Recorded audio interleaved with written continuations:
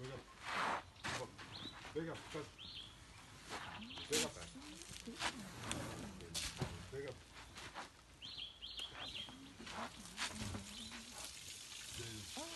up. Okay, the two gentlemen with the elephants, they are going to introduce themselves. They show us one